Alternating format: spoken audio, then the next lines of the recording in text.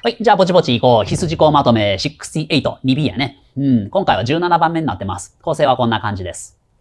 はい。全化式のね、2番目です。3つあるうちの真ん中。うん。まあ、これメインかな。うん、非常に大事なやつ。まあでも、えー、前回のがわかんないとちょっと今回のも厳しいから、だから、あのー、前回見てない人はそれからの方がいいと思うよ。で、問題はね、2つだけね。えー、まず1問目は、こういうやつ。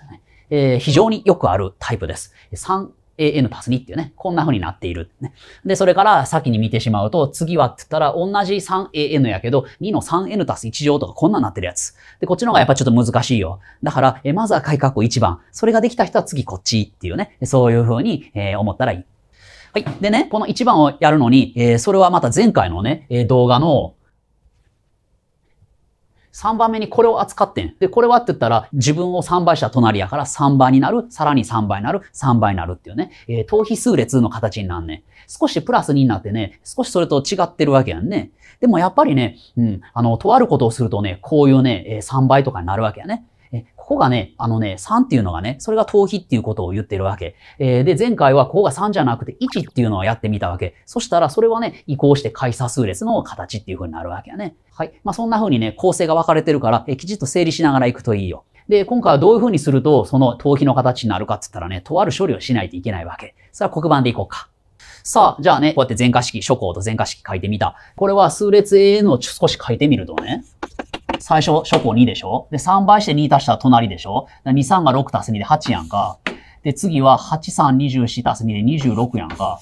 なんか規則よくわかんないわけよ。なんか3倍はしてるんやけどね、えー、3倍3倍にはなってないわけ。なんか足す2があるから少しね、えー、変になってるわけね。ところがとあることをするわけ。そのとあることっていうのを、えー、ちゃんと後で理由説明するけど、今回はプラス1をしてみる。だからね、アナウンス入るわけ。ピンポンパンポーン。ね、あ、マイクこっちや。えっと、数列 N の皆さんですね。えー、この絵ね、あ、俺らや。ね、1足してくださいとね。そういうなるわけ。そしたらこういう風なのが、えー、ピコッとこう1足されるわけね。で隣のやつも、えー、ピコッてさらにこういうのになるわけね。まあ1足されたら1足して3になるわけね。えー、9になるわけね。27になるわけね。俺？これってかける3。かける3になってない？うん。せんね。なんで、その1っていうのはどこから出てきてんっていうのは後で言う。まあ、とりあえずちょっと今認めてよ。えー、これ問題によって変わるんやけどね。今1足したらこういうふうに等比数列の形になって、そうすると、えー、一般項は、つったら A1Rn-1 乗で3の N 乗になるから、そうすると1背伸びしたのはこれやから、1だけね、キュッと縮めてって言ったらね、そしたらこれ引く1をして、3の N 乗引く1。もうこれで答え。えってわかるわけ。うん。でこういうね、構成になってる。だから、あとはプラス1っていうのはどこから出てきたのかっていうのだけ考えればいいわけ。はい。まあ、これは答案じゃないからね。はい。でね、そのプラス1っていうやつを、えー、考えるために、こういうことをやるわけ。えー、全化式書いてみる。で、これ理由後で言うけど、こういう式を用意する。an を α、an 足し1を α に変えたっていうふうに覚えとくといいよ。で、これをね、変辺引くっていうね、そういうことをやるわけ。これを丸1、丸2としとく。で、これを辺辺引くと、足す2と足す2が消えて、そのプラス2が悪いわけよ。ね。で、プラス2がなかったら、だって3倍して隣やから、等比数列やのに、プラス2があるから、それをこうやって消してあげると、そうすると、こういう風になって、これを bn という風に思うと、bn3 倍して b の n 足す1になるから、だから、この α 引いた数列っていうのは、え、自分3倍して隣になるやんかってなってね、え、これで嬉しいわけよ。で、これ丸3という風にするね。で、アルファの値はどっから出てくるかって言ったら、丸2を解いて出てくるわけ。えっ、ー、と、丸2を解くと、マイナス2アルファが2やから、アルファがマイナス1なわけやね。そうすると、丸3のアルファにマイナス1を入れてあげるわけやね。これこっちに書こうか。はい。で、これでさっき言ったみたいに、今は1足せばいいのか。1足すと1足された新たな自分ね。それから1足された新たな隣が3倍になってますよっていう、そういうことになんね。こうね。2、8が新たなプラス1足して3と9になって3倍。8と26が1足されて9と27で3倍。なるほどね。そんな風になってるわけ。はい。でね、丸2番の式はね、どっから作られるかって言ったら、さっきは、え丸1でこれをアルファ、これをアルファとしてっていうのは、それは覚え方であって、うん、数学的には何が正しいかって言ったら、この丸1式、これ、これは、ルールは分かりやすい。3倍して2倍足せば隣っていう風になる。ルールはわかりやすいけど、解くのには適してない。だってタス2があるって邪魔やから、これが。ね、タス2さえなかったら簡単に解けるのに、タス2があるから解きにくい。やっぱり解くのに適したのは丸3や。こうやって、えー、自分何倍かして隣っていう、こういう形。で、この丸2番は、これをこうやってするっていうのは覚え方であって、本当は丸1、よしきが、えー、こんな風になれば嬉しいなという希望の形の丸3。この丸1から丸3をペンペン引いて得られるのが丸2です。わかる？丸1から丸3をペンペン引いて得られるのが丸2です。えー、だからこれからこれを引くんやね。なんならアルファって出てくるわ。これからこれを引くんやね。そうすると、えー、3α 足す2になるわ。3an 消えるから。だから、丸2は丸1引く丸3をして作られんねん。で、ここからアルファが分かってこっちに入れるっていうね。そういう形になってんねん。それをしっかり頭入れときね。うん、よしき、解くのには適してないよしきを、えー、こんな形になったら嬉しいなアルファはどうやって求める？って言ったら、これからこれ引いて丸にして求めます。あ、アルファマイナス1って分かった。つってここに入れる。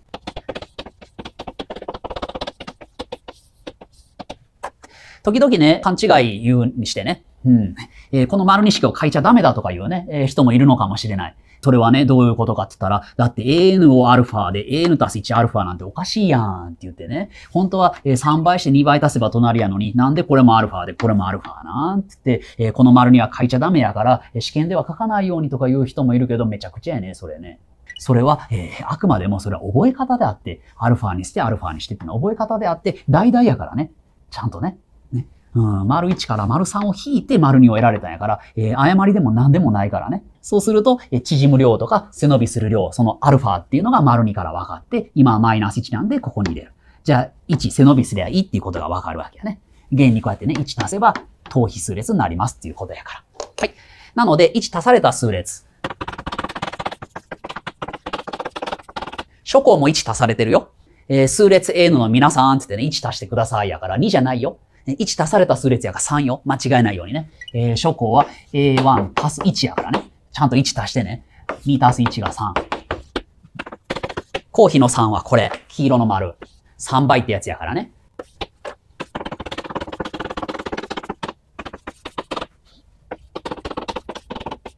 初項もちゃんと1足してあげてね。はい、1足された数列の一般項は3の n 乗です。もうここに書いた通りやねんね。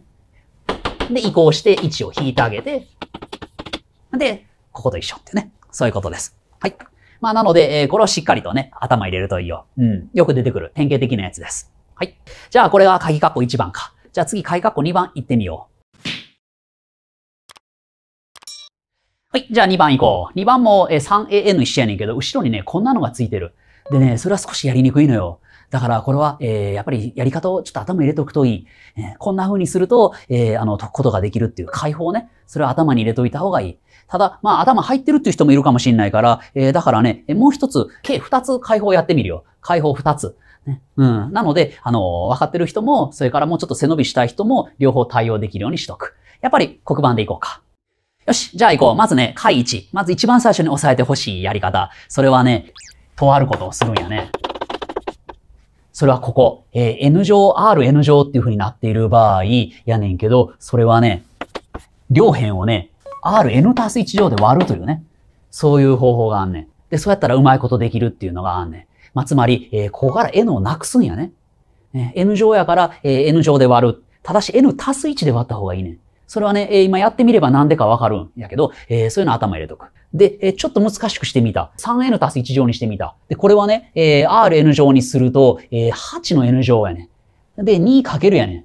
わかる ?2 かける2の 3n 乗ね。これで 3n 足す1になって、ここは8の n 乗にするから、8の n 足す1乗で割る。そういうことになんね。ちょっと難しくしてみた。ね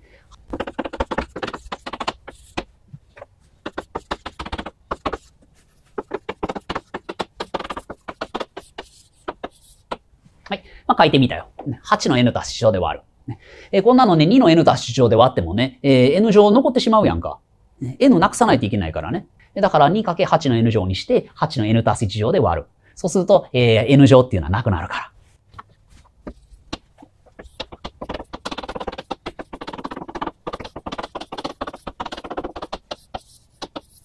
まあ、これぐらい書いとく。うん、そうやってね、えー注意していきましょう。はい。えーで、N 足す1乗で割るのはね、左辺とかね、相似と指数がね、一致して嬉しいんやね。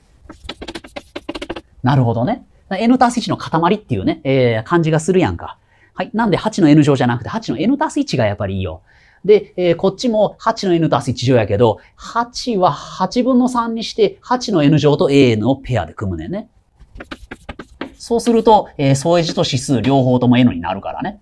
で、一番右の項はって言ったらさっきも書いたようにこれやから、8の N 足す1乗で割ると、8の N 乗消えて、まあ、ちゃんと書こうか。4分の1になんねんけどね。そうすると、さすがに置いた方がいいかな。えーこれをね、えーっと、b の n 足す1。じゃあ、これを消して、で、これを bn。で、ここは計算すると、8分の2やから4分の1。こんなんしていってみる？うん。で、a の n、an を8の n 乗で割ったやつ、bn と置くと、えー b の n 足す1が、8分の 3bn 足す4分の1。はい。こんな風になって、さっきの鍵括弧1番の全化式に帰着されるわけやね。そういう風になる。はい。だから、あとはこれを解くというね、いう風になって、えーそれでまあ、お決まりのように、丸1っていう風にして、アルファの式、丸2を書いてあげて、で、辺辺引くというのをやるわけね。で、そうすると、この邪魔っ気な4分の1が消えて、で、丸2番からアルファを求めてあげると、アルファはいくつや、えー、8分の5アルファは、4分の1は8分の2やから、だから5分の2っていう風になるか。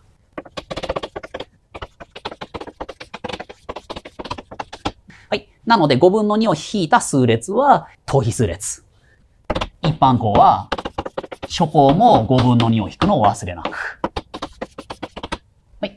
日本語を少し省略したから分かりにくいけどね。数列これこれは、初項これこれ、項比これこれの等比数列であるからっていうのを入れると分かりやすくなる。B1 はね、これか。A1 割る8。A1 割る8の1乗。やから1か。うん。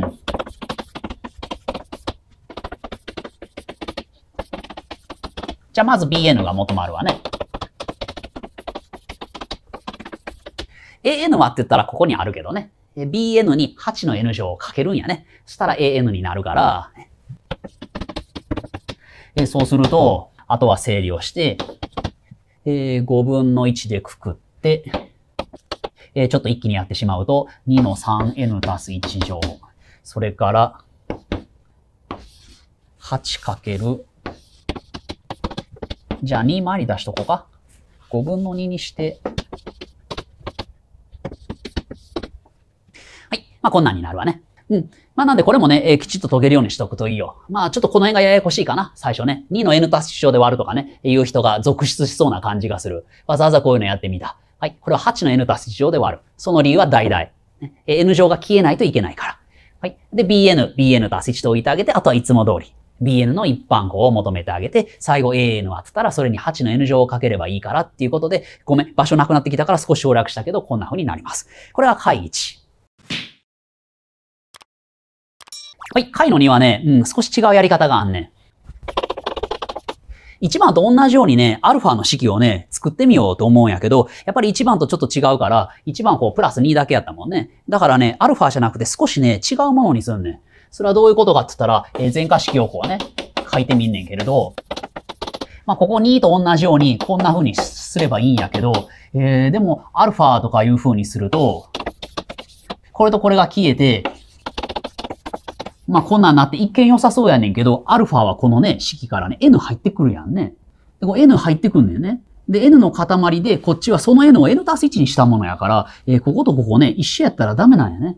ちゃんと n になってたら、その n を n 足す1に変えたやつにしなきゃいけないから、えーだからこれやったらダメで、少しこれをね、えー改良しなきゃいけないわけよ。それはどういう風にするかって言ったら、ここ8の n 乗やったから、これをね、アルファかけ8の n 乗にかけ替えてしまって、こっち側をアルファかけ8の n 足す1乗にすんだよね。そういう風にすると8の n 乗で辺辺割れて、それで良くなるわ。そういうやつちょっと難しいかもしれない。ね。で、できる人はこっちの方が早い。はい。まあ、なので、はい、改良するっていう風に書いた。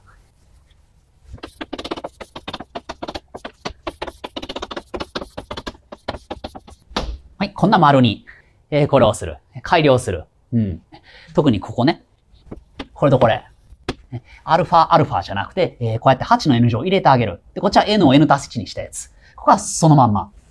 で、ここは黄色、黄色、消える。スパーン、スパーンって消える。はい。という風にすると、3でくくって、N の塊、N 足す1にしたものがこっちってね。そういう風になるから、えー、だからこれでいい形になるね。はい。丸2からアルファを求めてあげよう。8の N 乗をこう割ってね。で、これは 8α やから、えー、そうすると、8α は 3α 足す2っていう風になって、α は5分の2ってなんねん。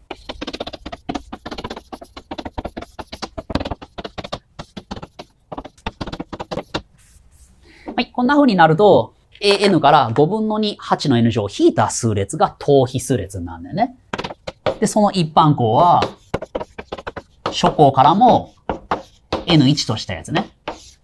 で、a1 ある n-1 乗っていう風になるから、だから bn とか置かなくていい分ね、楽やったりするんだよね。で、a1 が2やから、a1 は8やったね。ごめん、これね。書き間違えてた。なので a18 です。そうすると5分の24移行して、まあ、こっちの方が早い。うん。まあ、なのでね、えー、ちょっとこんなんも言ってみました。さあ、今日はね、えー、有名どころのね、全歌詞2つやってみたよ。で、特にこんな2番なんかね、進学校の人でも役立つと思うから、まあこんな感じでね、えー、よく復習してね、えー、全員で高いところまで行きましょう。はい。では次の動画もただやみでありがとうございました。